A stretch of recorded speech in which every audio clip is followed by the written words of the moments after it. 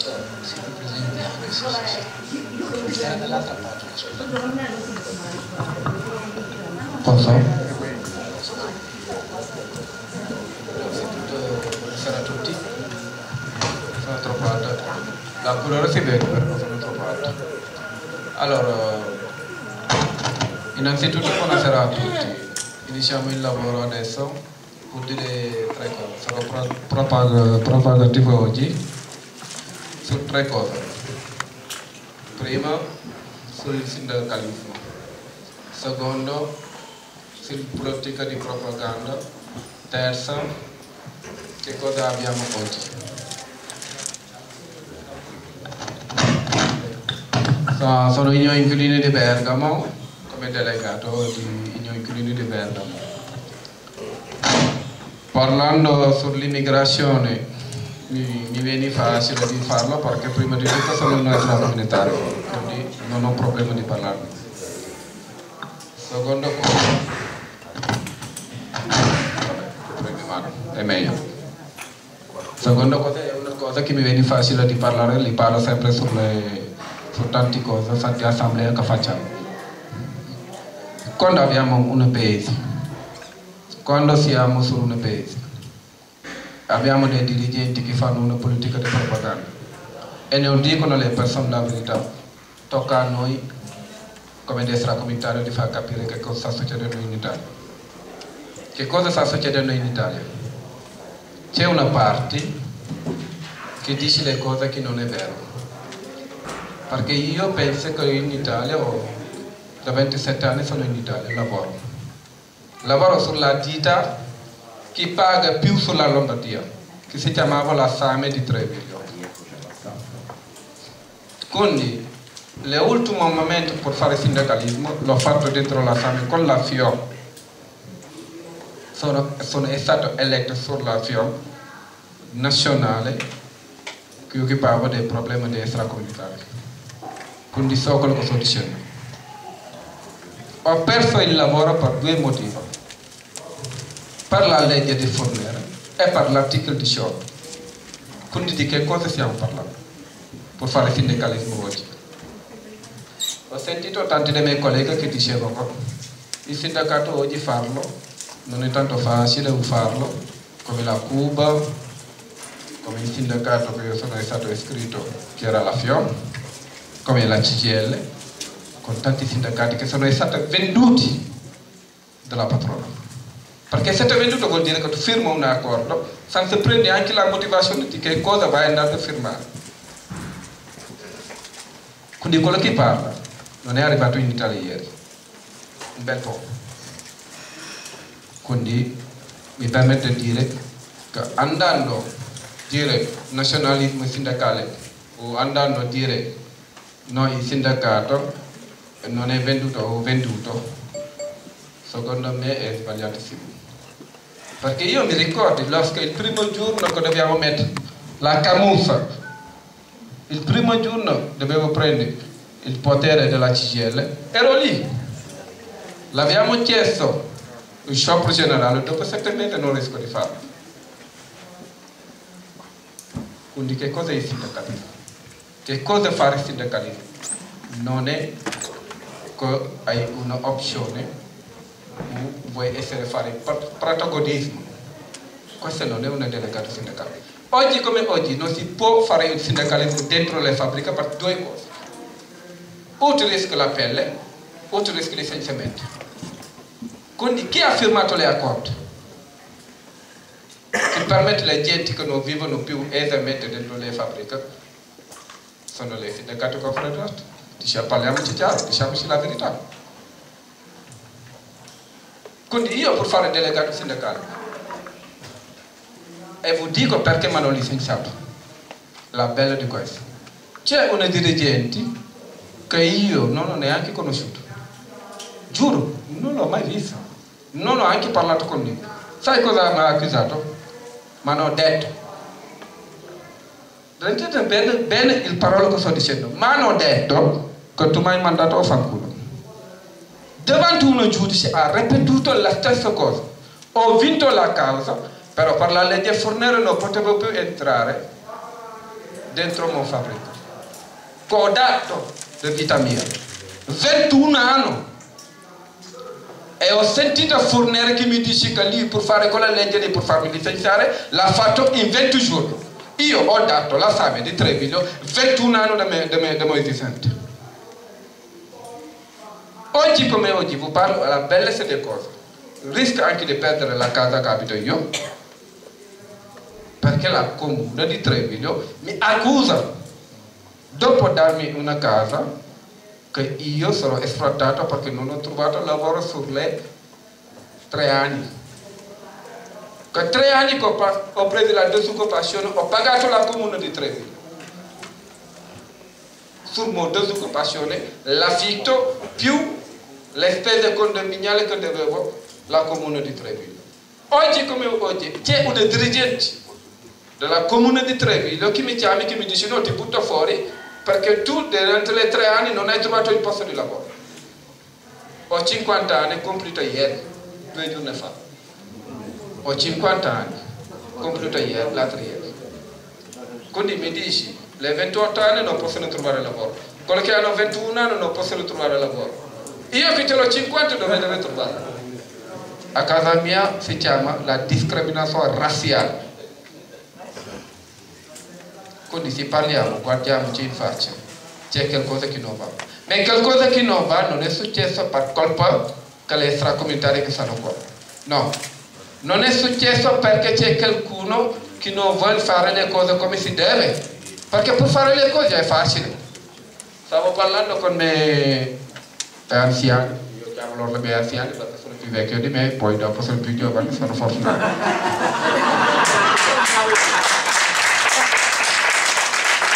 Dicevo che a Barcellona ci sono delle cose che vanno bene. Chissà che ti licenziano anche qua.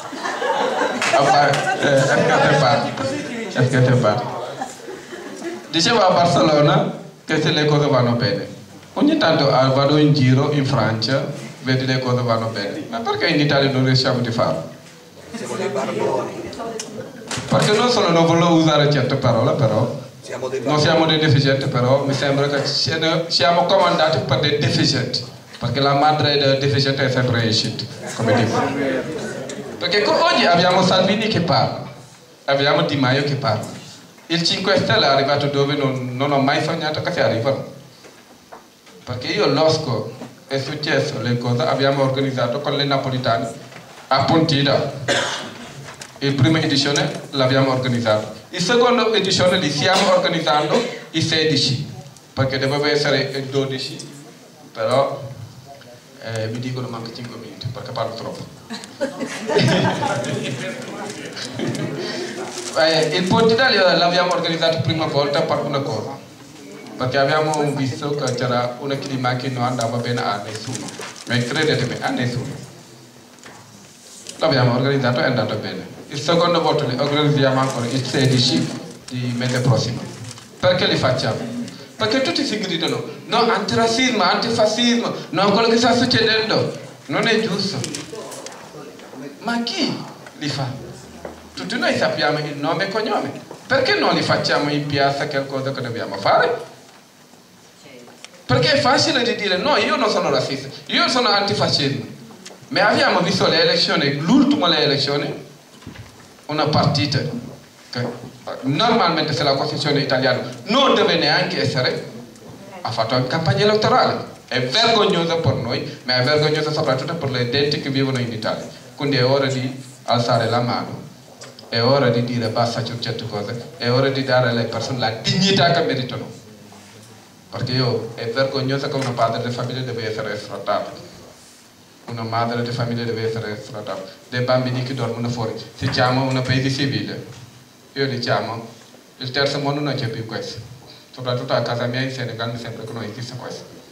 Quindi è ora che si guardiamo in faccia. Chi fa delegato sindacale le fa, per convinzione però. Chi fa sindacalismo la fa, per convinzione però. Chi vuole andare avanti, si alza e andiamo avanti. Ma non si fa le cose senza cuore. Non si, possiamo guardare in faccia, vedersi e non crediamo quello che facciamo. È ora che ci guardiamo questa gente che ci ha mandato qua oggi. abbiamo mangiato gratis, abbiamo fatto le cose, ma abbiamo delle responsabilità con la gente lì. E domani se torniamo in campo, e quando torniamo in campo dobbiamo dare risposta. Che risposta che vogliamo dare alle famiglie? Non è quello che parla Salvini, non è quello che parla a Di Maio di fare delle politiche di propaganda, di dirmi no, l'Europa deve cancellarmi il debito che ce l'ho per andare avanti. No, l'Europa non ti cancella un cazzo, credetemi. Quindi è ora che noi che occupiamo questa famiglia andiamo avanti. Grazie mille.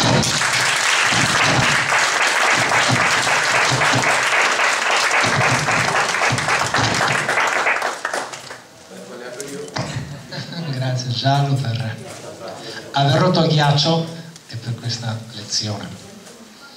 C'è Marta Posito, Bologna, Unione Primo, volto nuovo. Si prepari poi Bruno Caccoli, volto nuovo. Ciao.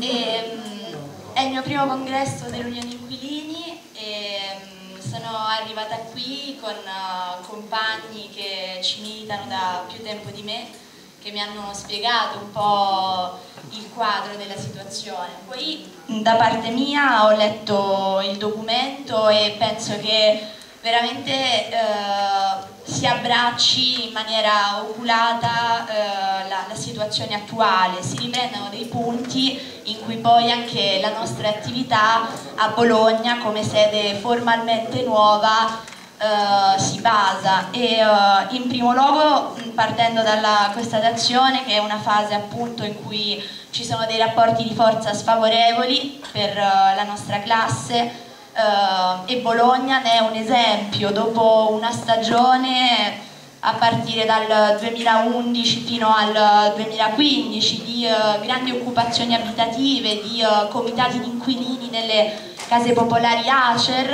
abbiamo subito una fortissima repressione da parte dell'amministrazione comunale del Partito Democratico che ha fatto sì che si dissolvessero quelle sacche di lotta che permettevano di uh, riunire uh, famiglie sia provenienti da case popolari che vivevano situazioni con uh, contratti mini da tre mesi a tre anni, utenze triplicate e quintuplicate improvvisamente che venivano cacciate fuori da questi complessi e uh, le loro case finivano murate in mano alla speculazione privata, un po' come in linea, come succede nel resto d'Italia da, dalle esperienze, dagli interventi di chi mi ha preceduta.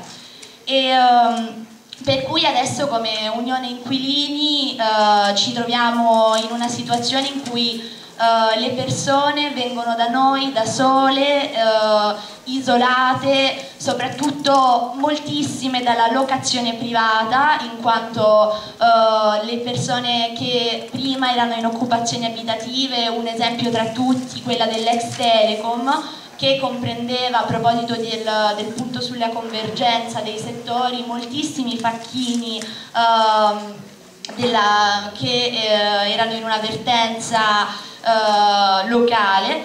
Sono, cioè, sono, sta sono, stati persi nelle poi dislocazioni, vittime delle soluzioni quasi sia risolutive dell'amministrazione comunale tra residence, separazione, singoli, famiglie, che aveva appunto perseguiva lo scopo di uh, riportare indietro quello che comunque uh, chi aveva organizzato queste occupazioni ha avuto il merito di costruire, ovvero anche una coscienza nelle, nei lavoratori, nei, nelle persone a cui veniva offerto sostegno. E questo è un punto che si riprende benissimo nel documento e che, è stato, eh, che io condivido dagli interventi che mi hanno preceduto, ovvero eh, oggi più che mai senza un movimento ci ritroviamo uh, a Bologna in primis a cercare di evitare di uh, stagnare in una situazione di mero assistenzialismo. Quando le persone vengono da noi attraverso lo sportello legale che è partito subito e che uh, riceve ogni settimana moltissime richieste Uh, è difficile, è sempre più difficile fare capire, cercare di mantenere un legame che vada oltre il bisogno immediato con chi uh, viene a parlare con noi. Uh, da un lato poi si, si, registra anche il fatto che senza un movimento generale spesso noi siamo in difficoltà perché le persone arrivano a procedure ormai di sfratto, quasi concluse e chiaramente abbiamo anche il problema di uh, dover essere costretti a scegliere via legale o picchetto. Picchetto spesso non è possibile perché senza coscienza si arriva in ritardo ed è difficile organizzarsi. La questione legale può avere il merito però, lo sportello legale, di dare un attimo, di formare le, uh, le, persone che vengono a parlare con noi, chiaramente però è solo il mezzo. E uh, infatti nel nostro piccolo comunque abbiamo cercato di spostarci più nel quadro politico cittadino anche appunto in un senso di uh, convergenza, penso gli ultimi episodi di grandi sgomberi si sono avuti quest'estate con delle occupazioni politiche, mm, di movimento, eccetera, e a settembre si è registrata una grandissima manifestazione con dei numeri molto alti a Bologna contro lo sgombero, un ultimo sgombero di, uh, di, questa realtà di, uh, di, movimento che poi ha seguito cioè, una, una, trattativa con il comune, eccetera. Ma uh, quel giorno noi, noi c'eravamo e insomma già comunque è importante questo e mm, per il resto riusciamo anche poco a poco a mettere in pratica una solidarietà reale a proposito della lotta dei sindacati extraconfederali o meglio una distinzione che mi sembrava molto corretta non firmatari del tour 10 gennaio 2014 ebbene Uh, noi abbiamo assistito uh, un delegato sindacale di SGB nel corso di un'avvertenza uh, regionale di SDA che come è successo in Lombardia ha visto una, una, serie di, di vertenze e insomma chiaramente al problema di un piano di licenziamenti, repressione sindacale noi non solo eravamo ai presidi, ai picchetti di sostegno ai lavoratori, ma eh, abbiamo anche presentato come Unione Inquilini la domanda di Casa Popolare per questo delegato sindacale. Insomma, mh, mm, ci ritroviamo e ci sembra più che corretto pensare in un'ottica di convergenza eh, secondo le possibilità locali. Poi, eh, ultima cosa, mh, mm, sulla questione anche uh, dei uh, giovani e degli studenti ho intravisto, ho sentito di esperienze in cui si riescono a coinvolgere anche gli universitari fuori sede uh, a, partire, a partire da un problema comune come quello della casa e questo è sicuramente importante perché anche mi ricordo tre anni fa su, partirono delle vertenze a livello studentesco con il nuovo ISE come poi successe anche nel, nell'ambiente più che altro della casa. Questi possono essere momenti unitari, chiaramente è un settore più difficile, però è sicuramente interessante da esplorare. E niente, concludo dicendo che abbiamo, cerchiamo di mettere in piedi, cioè sfruttiamo i mezzi che abbiamo legalmente a Bologna, ma è chiaro che poi i risultati eh, li si ottiene, li si ottiene sul, sul, lato politico, di, di conquista di, di, legittimazione e mm, eh, quindi questo. E infatti un obiettivo che, che ci poniamo eh, speriamo presto è quello come scritto nel documento di cercare di formare un comitato di inquilini appunto per, per avere una base combattiva e per uscire da logiche eh, assistenzialiste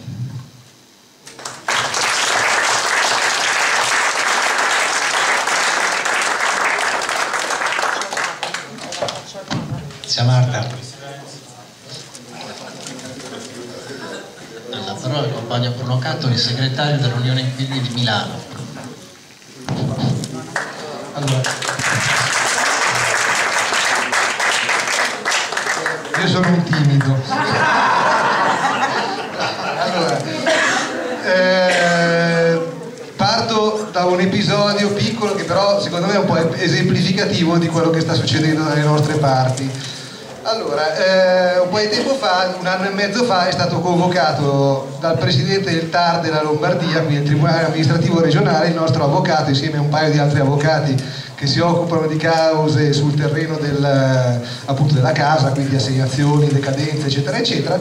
È stato detto, avvocato, lei tenga presente che deve, prima di tutto, il diritto alla casa non è un diritto sancito dalla Costituzione eh, quindi lei deve scordarsi di continuare a fare tutte queste cause. Il secondo, tenga presente che anche dove ha il patrocinio gratuito noi possiamo anche caricare comunque le spese eh, sulla, parte, sulla parte soccombente, voi sapete fondamentalmente come la penso io. Per, vi racconto questo episodio perché è abbastanza indicativo del clima che si vive, perché chiaramente questo discorso che la casa non sia un diritto, è un discorso che non è, non è che nasce dal, da una, parte, una, mente malata, no? che è diventata presidente del TAR, è un discorso che va per la maggiore nelle classi politiche, nelle classi dirigenti che ci sono in Lombardia come in gran parte d'Italia. Altrettanto eh, comune è l'insofferenza nei confronti della contestazione di cui si parlava stamattina e del conflitto. Cioè tu basta che della serie l'atteggiamento è non ci rompete le, troppo le palle.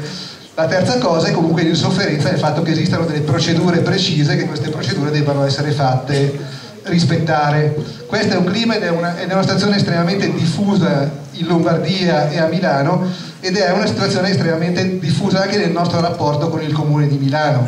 Noi abbiamo avuto eh, di fatto da cinque anni, dalla seconda parte del mandato della giunta Pisapia una distruzione sistematica di tutta una serie di tutele che esistevano nei confronti degli inquilini.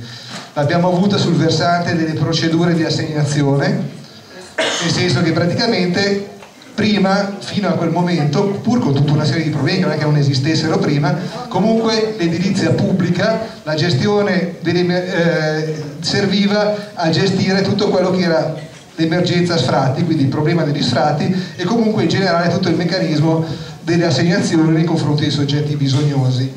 Eh, da un certo punto in poi tutto questo sistema che c'era è stato smantellato totalmente, è stato fatto in modo che praticamente non ci sia più non solo un passaggio da casa a casa, ma che gradualmente, sempre in modo però che inizialmente non si riusciva a capire qual era poi dove andavano a parare, però adesso lo, capiamo bene, peraltro sono le stesse cose che sono contenute nella legge regionale eh, predisposta dalla regione leghista della Lombardia, peraltro quella con l'assenso invece dell'ANCI in cui il PD è maggioritario in Lombardia e che è sostanzialmente il fatto di dire l'emergenza abitativa, l'emergenza sfratti non viene più gestita con l'assegnazione di alloggi popolari ma viene gestita tramite i servizi sociali, quindi con risposte temporanee non più di edilizia popolare, ma con soluzioni temporanee e transitorie, sempre meno tutelanti, sempre più discrezionali e sempre, eh, e, sempre, e comunque in ogni caso che non, che, che, non più, che non, passano più tramite l'assessorato alla casa, ma passano sempre di più tramite l'assessorato ai servizi sociali.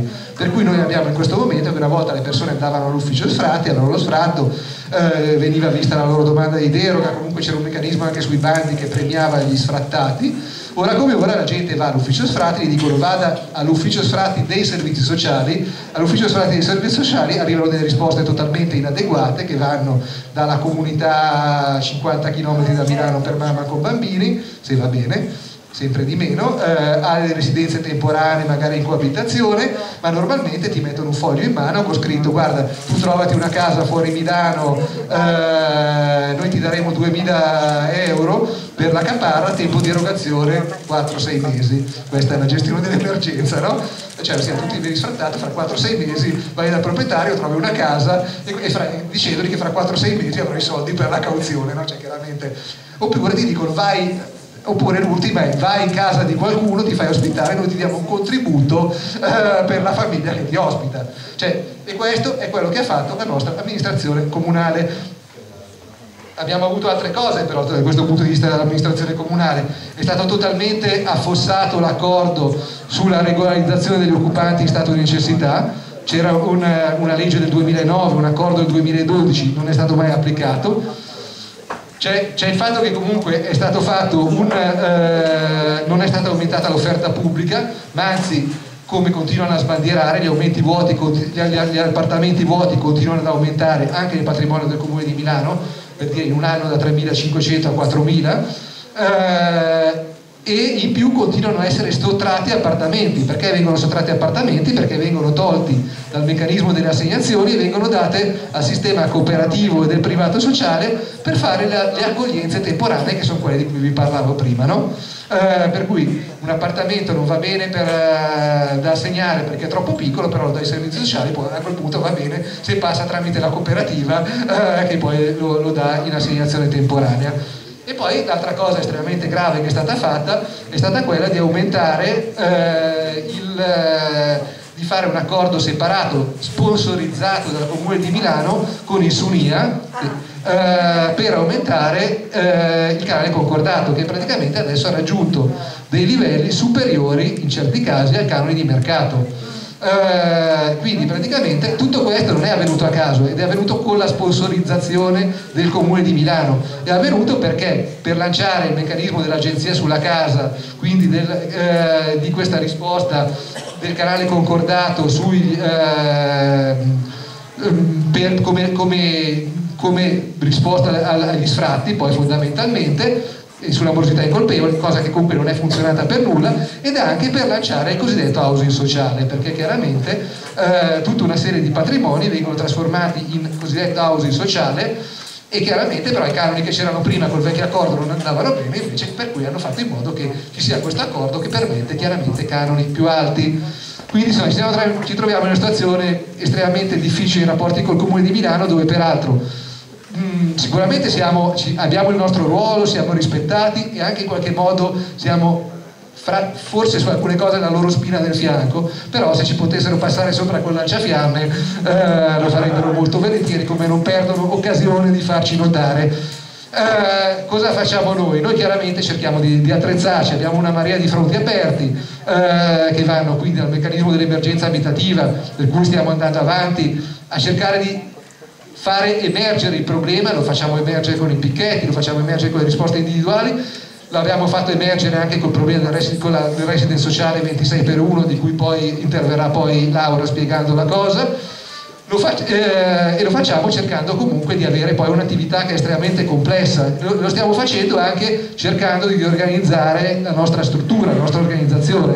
E io sicuramente sono molto fra virgolette contento e orgoglioso di alcune cose che stanno succedendo da noi. Stanno succedendo da noi il fatto che noi comunque abbiamo, stiamo cercando di essere veramente unione degli inquilini, nel senso che comunque abbiamo tutta una serie di persone che ci si avvicinano, che, che in qualche modo danno pezzi della loro attività, della loro militanza, della loro vita partendo dal fatto che sono persone che hanno loro e vivono il problema a cui stiamo cercando di formarli anche sindacalmente e di farli diventare veramente il corpo vivo dell'Unione Inquilini sempre di più. Abbiamo fatto adesso un direttivo con 40 persone che eh, coinvolge non solo chi fa le consulenze ma anche gente di comitati, gente emersa nei cicli di lotta e anche peraltro dei giovani che si sono avvicinati alla nostra attività ma, ma, ma si sono avvicinati perché sono persone che anche loro hanno vissuto il problema sulla loro pelle. Quindi da questo punto di vista è sicuramente un po' una lotta impari ma è una lotta su cui stiamo cercando, è una, una strutturazione che stiamo cercando di darci per riuscire a reggere anche un livello di scontro che diventa sempre sempre più pesante. Eh, Vabbè, taglio molto, vado, eh, allora, per quanto riguarda invece il discorso, vado un secondo sul discorso nazionale, proposte eccetera eccetera eh, e del dibattito che c'era.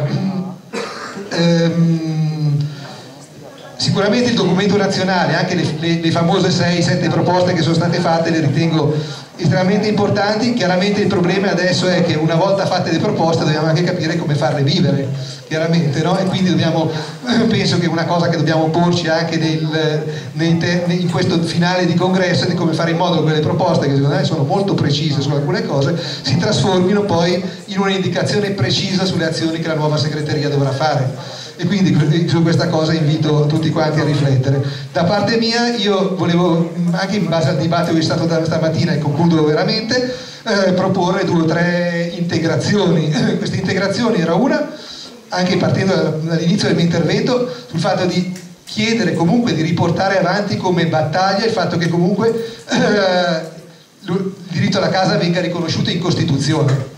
Cioè, secondo me, noi come Unione Inquilini, questa cosa, indipendentemente dai tempi, dai modi, dobbiamo comunque portarla avanti, perché è una cosa sia da un significato simbolico non indifferente, ma anche da un punto di, da un punto di vista giuridico che potrebbe comunque darci una serie di appigli, perché chiaramente noi non possiamo mai eh, contestare un'incostituzionalità di un determinato tipo di leggi o di normative o di applicazione della legge nel momento in cui comunque la casa non è un diritto sancito dalla Costituzione. Questa cosa secondo me proprio come battaglia politica dovrebbe essere una cosa che l'Unione qui dovrebbe mettere le sue parole d'ordine, le sue prime parole d'ordine. E poi due cose invece più,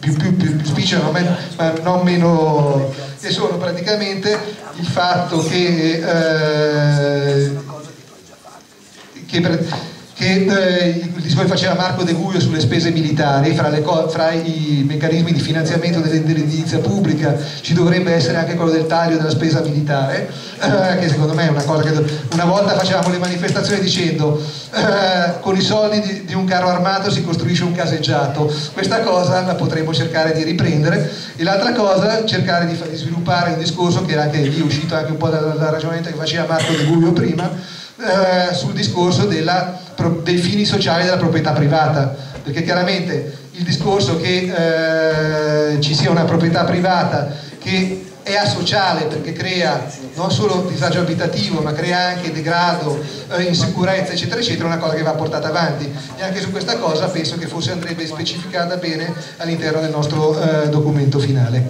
Vi ringrazio.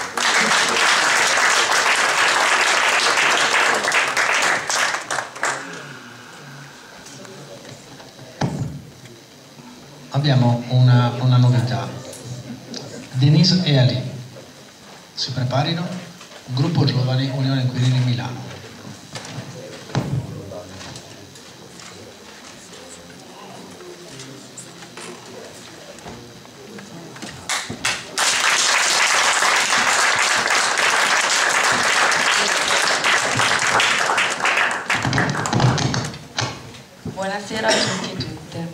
Siamo un gruppo di giovani che ha conosciuto Unioni Inquilini a diverso titolo.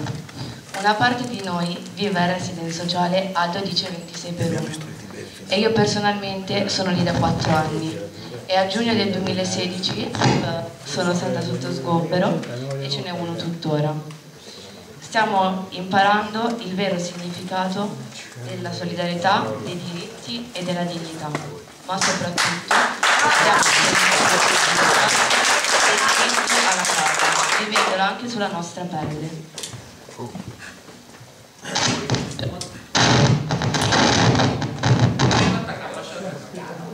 Alice è troppo alto!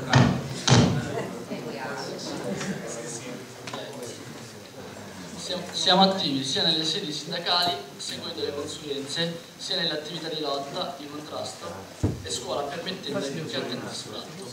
Durante il, congresso, durante il congresso milanese, due di noi sono entrati ufficialmente nel direttivo Unione di Milano.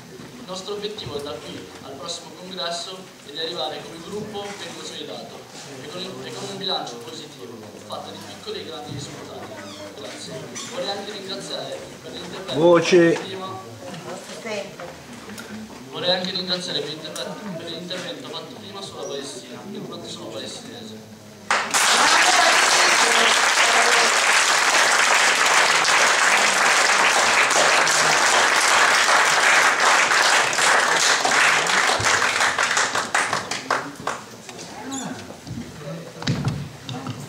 Grazie Denise, grazie Ali.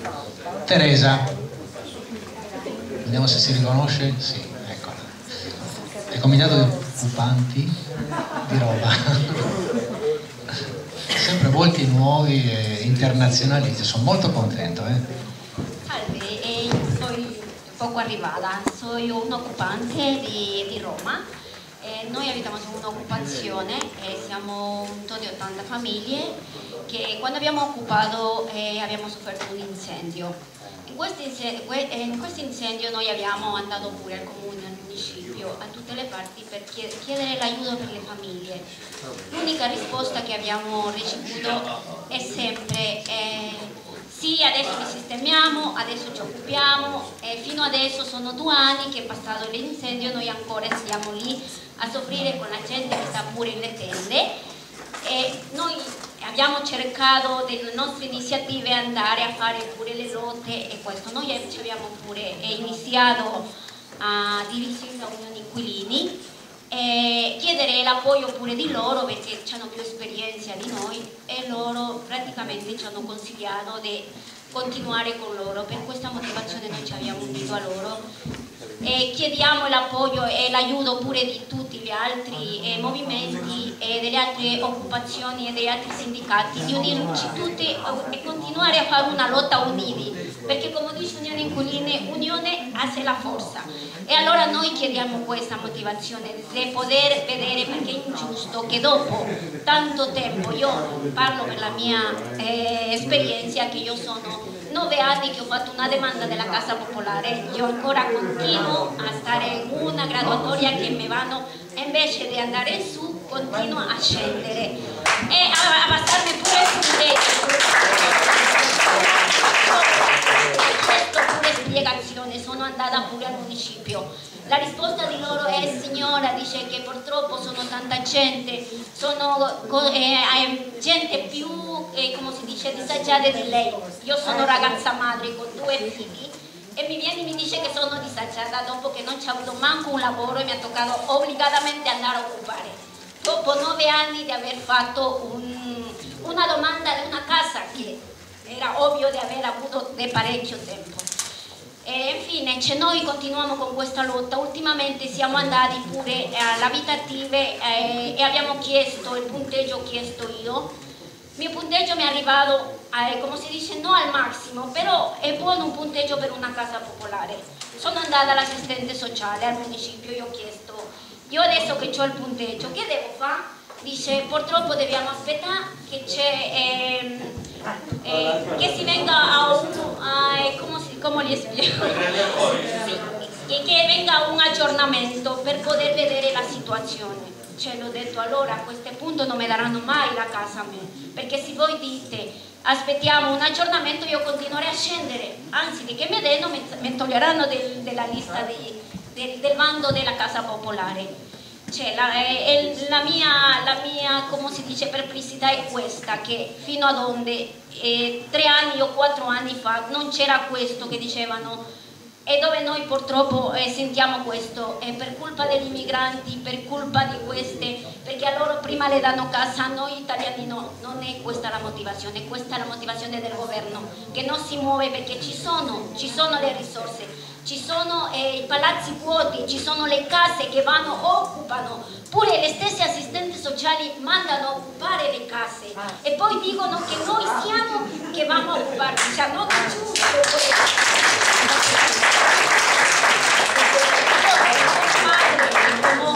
straniera, perché non mi sento straniera, mi sento già italiana ormai, sono 21 anni che sto qua con i miei figli. E i miei figli sono italiani perché sono cresciuti qua. Io voglio un futuro per loro. Un'altra cosa, i giovani come dicono, no? qua stanno a rimanere in Italia senza giovani. Certo che i giovani immigrano perché non hanno un lavoro, una casa. Come, come pretendono che c'è qua i giovani se non c'è la possibilità e l'appoggio del governo di dire sì, le diamo un lavoro e le diamo una, una casa perché è un diritto, la casa è un diritto per tutti. Eh, scusate, è la prima volta che io parlo e lo, lo unico che io chiedo è, è l'appoggio pure di Unione Inquilini di poter continuare e unirci tutti perché è, questa è, è, più o meno come mi sono resa conto e l'obiettivo di Unione Inquilini è andare tutti insieme tutti uniti, mobilizzarci, andare al municipio, andare al comune e chiedere, e lo stesso chiediamo in tutte le parti, di unirci tutti e andare a fare questo, andare a fare mobilitazione e dire basta, basta di tante cose che non, non è giusto, di tante ingiustizie, perché è un'ingiustizia questa. Ci sono pure single, persone single che non le danno la casa avendo il punteggio più alto, perché? Perché dicono le case sono grandi, non ti posso dare una casa di 50 metri quadri se sei singolo. E allora perché gli dici di fare una graduatoria se non le dai una casa? E li tieni così? E i signori mi dispiace dirle per, per l'occupazione mia sono tanti anziani disabili. Pure, pure recentemente morto uno mi dispiace tanto di aspettativa di una casa. È morto così che in pace este però io dico è ingiusto e io chiedo a tutti eh, di iniziare a muoverci, di iniziare a fare una lotta, di iniziare a fare qualcosa, qualcosa uniti, lo so che lo logriamo. Grazie mille.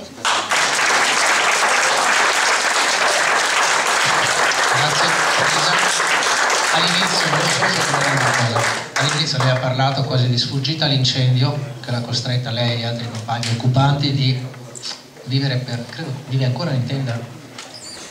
Non ho capito bene se vive ancora in tenda, sì, ecco. Allora, il tema degli incendi, il tema della sicurezza abitativa l'abbiamo sollevato a livello internazionale, avete seguito forse l'incendio della torre Greenfield eh, in, uh, nel Regno Unito lo scorso anno, poi ce ne sono stati altri in giro e stiamo facendo girare, faremo girare anzi prossimamente una mozione per organizzare nell'ambito delle giornate mondiali sfratti zero una giornata mondiale rischi zero quindi sarebbe bene eh, vedere anche se nel prossimo ottobre, il 10 ottobre, una cosa specifica su questo tema della, dei rischi zero con i compagni dell'occupazione, ma sicuramente ce ne sono molti altri che, questo, che subiscono questo tema.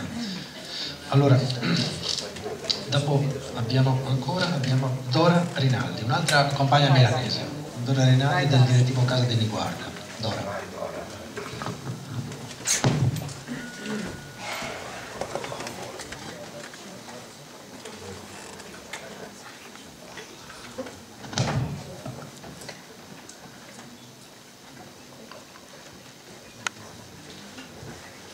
a tutti e a tutte. Io mi chiamo Dora, vengo da Milano. Sono stata occupante per necessità per circa 20 anni Vent'anni fa insieme a Laura Boy abbiamo creato un comitato per il diritto alla casa, DAC, e col tempo poi siamo cresciute.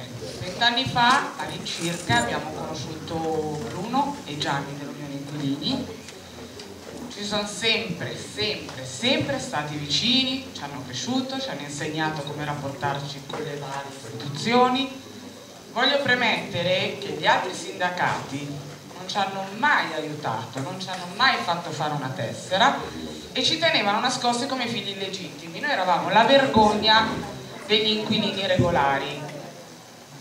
Dopo aver conosciuto Bruno e Gianni, l'Unione Inquilini, abbiamo iniziato a fare le nostre battaglie, le nostre lotte, abbiamo eh, trovato delle nuove situazioni abbiamo cercato di capire come si poteva fare, abbiamo trovato, provato a risolvere in varie maniere, non ci siamo riusciti, anche abbiamo conosciuto Weiner, abbiamo conosciuto i ragazzi di, di Clochard, abbiamo occupato, abbiamo dato un tetto a tante famiglie con il residence sociale alto dice 26 per 1 Insieme ci siamo uniti con l'Unione Inquilini, il Comitato Diritto alla Casa, il Residence e abbiamo bloccato, trattenuto, evitato, limitato nuove occupazioni perché in questo posto ci stanno 200 passafamiglie, non hanno più bisogno di stare in mezzo alla strada e quando vengono sfrattate o perdono il lavoro perché io ho subito anche un taglio all'ospedale maggiore di Riguarda dove facevo 8 ore, mi sono trovata 4 ore e mezza riduzione naturalmente dello stipendio non potendo pagare l'affitto. Tante mie colleghe tra 3, 4, 5 hanno perso la casa perché non potevano pagare il mutuo. I figli non andavano a scuola perché se non si lavano i ragazzi si vergognano. se non hanno un posto dove studiare si vergognano. Aldo li ha accolti i clochard ci hanno aiutato e questo vuol dire che se c'è la casa, c'è la dignità, c'è la possibilità di lavorare con serenità, ma i ragazzi possono studiare. C'è anche lo studio che è una cosa importante per i nostri ragazzi, perché se io non ho la casa vado eh, fuori di testa, non vado a lavorare, i miei figli non capiscono più niente, non vanno a scuola, per cui è tutto collegato. Vi rifaccio prima il discorso del sindacato sul lavoro. Il lavoro è dignità, la casa aiuta questa dignità e lo studio aiuta a non essere un popolo di ignoranti e di pecore, perché attenzione, i nostri ragazzi sanno già quello che potrà succedere. Io voglio che ragazzi come Denise, le mie figlie che venivano in manifestazione con Bruno e Gianni e gli altri miei amici, fratelli, sorelle che erano occupanti per necessità debbano passare quello che abbiamo passato noi. Loro in manifestazione comunque ci vengono, eh?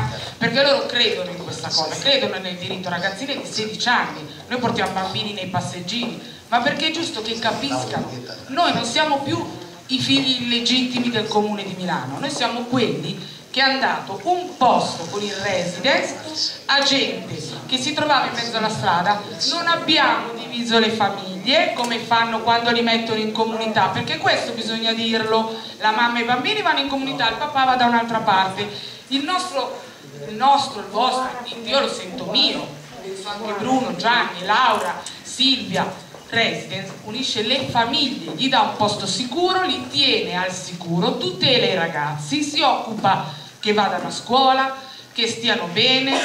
Questo è quello che dovrebbero fare gli altri e non noi. Noi figli illegittimi del comune di Milano e di altri comuni, perché non è che c'è solo il comune di Milano, ok? Io sono stata occupante per vent'anni, poi mi hanno regolarizzato, ma questo non mi ha fatto accomodare, mi ha fatto incazzare ancora di più. Perché ho detto ho aspettato vent'anni per essere regolarizzata, adesso che sono regolarizzato, ho un contratto, adesso divento cattiva e vengo e ti faccio quello là. Ok? Perché adesso non mi puoi più minacciare e dire tanto vengo, perché loro facevano così, venivano da noi, quando noi andavamo anche a fare i picchetti, venivano dicevano tanto te ti ho fotografato, poi vengo e ti tiro fuori. Adesso non mi dicono più vengo e ti tiro fuori, sono io che le dico adesso vengo io e ti tiro fuori a te, se dopo non ti occupo un altro palazzo, perché così la gente non deve stare più in mezzo alla strada, i bambini non devono più vedersi tolti alle famiglie, ok? Perché anche gli assistenti sociali Va bene, solo dire questo. Vi ringrazio, ringrazio naturalmente l'Unione Inquilini per averci cresciuto, averci insegnato a rapportarci con le varie istituzioni, anche se Bruno ogni tanto mi sgrida, perché dice che sono troppa verb, è vero Bruno? Però va bene così. Grazie a così no, bisogna essere resistenti, capaci di avere delle belle buone lingue. Allora, abbiamo un intervento di... Ah, sì, intanto segnalo che è arrivato il compagno Paolo Di Vetta dei blocchi precari metropolitani di Roma, del Movimento per il diritto ad abitare. Quindi fra un paio di interventi ci sarà anche lui. Nel frattempo eh, ci sarebbe Luca Scarselli se non è in commissione elettorale, è in commissione statuto, vero? È in commissione statuto. Eh, allora niente, allora mi tocca fare a me, il mio intervento che ho preparato per farlo dopo lo faccio su. Qualcuno.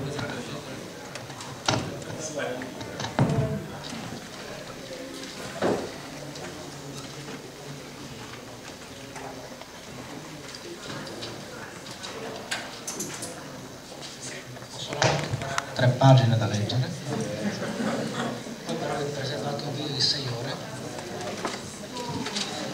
e avreste domani, a parte di iscriverci. Voce!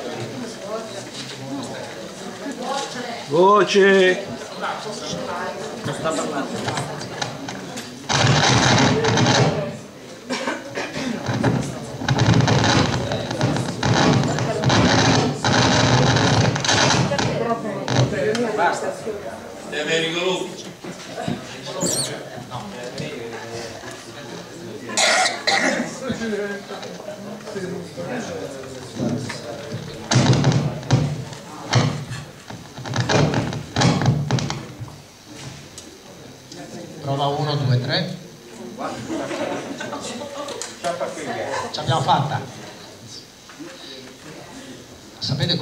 via urbana? quello che stiamo costruendo adesso. Sapete cos'è la via campesina? La via campesina è uno spazio, un cammino, il coordinamento delle organizzazioni popolari dei contadini di tutto il mondo. Hanno un coordinamento che eh, comprende centinaia di milioni di persone, non sto separando numeri a caso, e quando dicono qualcosa sul riscaldamento climatico o della sovranità alimentare sono ascoltati e hanno un'incidenza politica. La via urbana è per le organizzazioni popolari nelle città quello che dovrebbe anzi dovrebbe essere quello che per le organizzazioni popolari nella campagna dovrebbe essere anche per le città è questa convergenza di lotte convergenza, coordinamento, solidarietà, collaborazione ognuno ha un suo ruolo e oggi, in questi giorni, eh, stiamo sentendo cose importanti da compagni nuovi che provengono da esperienze diverse e che aprono la speranza per questo tipo di strada anche qui in Italia. Sapete che ha un certo ruolo nell'Alleanza Internazionale degli Abitanti. Stiamo facendo questo grosso sforzo, impegno, investimento politico, personale per la convergenza. Non è semplice, c'è stato un paio d'anni fa a Quito in Ecuador eh, dove c'era le Nazioni Unite che discutevano e hanno presentato un'agenda habitat che è abbastanza spaventosa. Nel senso che dicono il nostro unico futuro è il futuro urbano, ormai tutti andranno a vivere nelle città, le città sono il motore del sviluppo e per far questo serve il partenariato pubblico e privato, detto in soldoni, non più lo Stato, non più il pubblico, che intervengano gli speculatori e soprattutto non più verde, non più autoproduzione, non più sovranità intesa in senso serio, non più solidarietà, ma solamente un meccanismo di continua riproduzione alla fine del capitale. Quindi è un futuro di morte, un futuro che, non ci appartiene, non può appartenerci. Quando una compagna parlava del futuro per i suoi figli qui in Italia, ma il futuro per i suoi figli, i nostri figli in tutto il mondo, o ci mettiamo d'accordo che eh, dobbiamo essere d'accordo, ognuno ha il suo specifico, ma però tutti dovremmo essere d'accordo e non farsi più le parrocchiette. Questa Unione Inquilini sta lavorando, sono molto contento, molto molto contento stiamo lavorando per un'unione inquilini si diceva del terzo millennio, però molto radicata nella nostra storia. Compagni ieri, alcuni compagni ieri hanno ricordato la prima unione inquilini, l'unione inquilini consigliare, che riproduceva nel territorio la struttura dei consigli di fabbrica. Oggi siamo a un'altra fase, si parla della rivoluzione industriale 4.0 in realtà c'è un territorio che produce e nel territorio gli abitanti sono non solamente consumatori ma anche produttori. Bene, io credo che probabilmente abbiamo oggi forse maggiori possibilità di insediare questa struttura consigliare dell'Unione Inquilini. Non è, diciamo che è facile a dirsi, difficile a farsi, come diceva. Bertolt Brecht, come comunismo tra l'altro, e però credo che abbiamo molte possibilità di eh, lanciare e forse ottenere qualche risultato in questa direzione. Non la faccio tanto lunga. Quando ieri discutevamo dell'edilizia uh, residenziale pubblica, tutti i compagni dicevano ribadiamo la funzione sociale, deve essere sviluppata, però non possiamo essere solamente la lobby che dice questo, non possiamo essere semplicemente quelli che hanno la bella idea, ma dobbiamo radicarci, no? Questo strano animale con le gambe ben piantate sul terreno di cui parlava Walter. E la testa però ben coscienza delle sfide ma le gambe ben piantate per essere chiari o sono i richiedenti casa che oggi vivono molti purtroppo la vergogna considerano dello sfratto e della graduatoria questa umiliazione. Ma perché allora non rilanciamo i bandi popolari bandi popolari, cioè cominciamo noi a praticare l'obiettivo, pratichiamo l'obiettivo delle case popolari. Ci sono 10.000 appartamenti scritti a Milano, questo governo, quello che viene fuori, parla di rigenerazione urbana. Che cosa significa per noi? Se vogliamo interloquire ma in maniera seria, forte, con incidenza, avendo una presa e una mobilitazione, ma allora per quale motivo non dovremmo poter sfruttare questa, questa porta, questa, questa bandiera, questa propaganda invece per riappropriarci di questi 10.000 appartamenti sfitti, cantieri di autoriabilitazione, di autorecupero, di rigenerazione urbana, autocantieri. Io credo che sia possibile farlo e farlo ad esempio con gente che viene dai bandi popolari. Facciamo i banchetti, raccogliamo i bandi popolari. Questi bandi popolari, anziché semplicemente aspettare di mettersi in fila nei 650.000, ma non solo si mettono in fila, che vanno a rompere le scatole per che si facciano le case popolari, ma le fanno le case popolari. Se vi ricordate qualche anno, parliamo del secolo scorso, no? C'era la cooperativa chi non occupa preoccupa, ma io mi preoccuperei veramente se non occupiamo per rigenerare, ci sono molte esperienze. Vediamo di generalizzarle e su questo credo che la via urbana anche qui in Italia possa avere un bella mente. L'altra strada, il tema del finanziamento, finanziamento strada tosta del finanziamento. Nel nostro documento, una delle 17 pagine, quindi è una pagina, non è qualche riga, su questo tema abbiamo speso cose importanti e vorremmo spenderle concretamente nei prossimi tre anni dell'Unione Europea, ma a partire da subito, perché eh, c'è una finanziaria in agguato, sarà una finanziaria assai interessante, non, non, non credo che sia semplicemente, non si parlare semplicemente di lacrime e sangue, no, sarà una finanziaria assai interessante. Cerchiamo di capire, cerchiamo di vedere come noi possiamo inserirci in un, su un tema, e qui ribadisco il tema, la parola sovranità, e che è il tema del debito sovrano e più in generale del debito pubblico.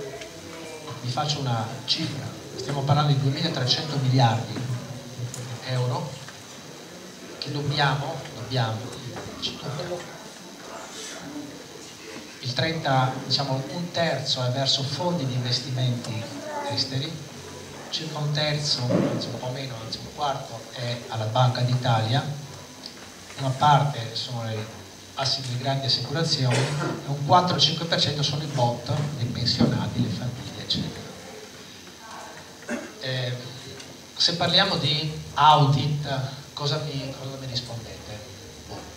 Allora, l'audit è uno strumento tecnico che serve per verificare in questo caso se un bilancio è corretto, ma soprattutto se i prestiti che sono stati fatti all'Italia rispondono ai requisiti su cui l'Italia è fondata. L'Italia è fondata sulla Costituzione, fondata sul rispetto dei trattati internazionali e in particolare c'è il patto internazionale sui diritti economici, sociali e culturali, l'articolo 11 dice, afferma che l'Italia è stato ratificato, eh, non è una dichiarazione di principi, è una legge, la legge 881, dice che deve implementare politiche che migliorino progressivamente il godimento dei diritti, tra cui il diritto alla casa.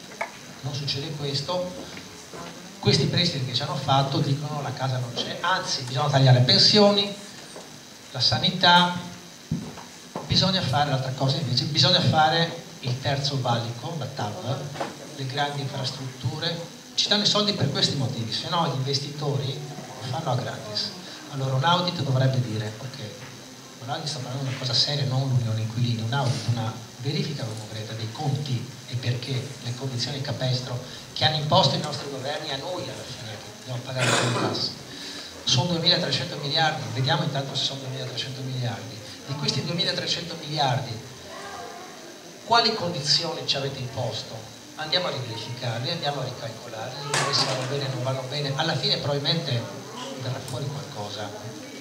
E quel qualcosa potrebbero essere 150, 200, non lo so, miliardi di euro, noi, che siamo noi, stiamo parlando di via urbana, altre organizzazioni popolari e probabilmente anche forze politiche, visti i discorsi che qualche forza politica che adesso aspira al governo ha fatto nei giorni scorsi, potrebbe essere interessato a ridiscutere. Allora a ridiscutere a quel punto se i soldi non devono essere più pagati agli speculatori internazionali, quei soldi visto che siamo noi a mobilitarci, almeno una parte devono essere dati per le case popolari. Allora vedete, diventa molto più concreto molto più concreta la nostra proposta che è contenuta nel documento di una percentuale del bilancio da destinare alle case popolari, una percentuale del bilancio che oggi non c'è e non c'è nel programma del governo, non c'è, c'è zero.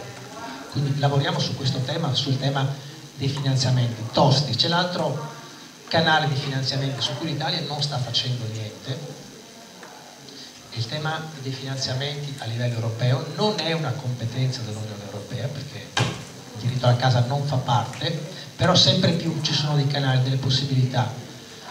Ad esempio per l'adeguamento degli edifici, emissioni zero 2020, discorsi che forse avete, avete sentito, di cui avete sentito.